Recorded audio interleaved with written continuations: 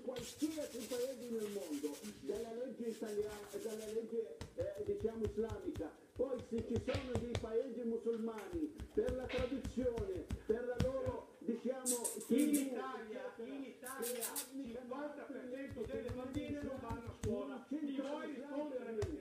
Noi in Italia e ti amiamo